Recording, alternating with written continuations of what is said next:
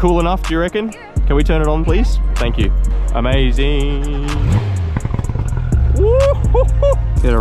Shot here. There we go. 1 over 320th of a second, f2, ISO 100. And the only reason why I'm shooting on such a low aperture is because I have an APS-C camera system and the aperture just behaves quite differently on an APS-C because of the smaller sensor. The depth of field isn't as pronounced. So I can shoot at an f2 and it's something like an f3 full frame equivalent aperture. That's one of the actual benefits of shooting on APS-C is just the fact that you can make the aperture much wider. You can step it down much more.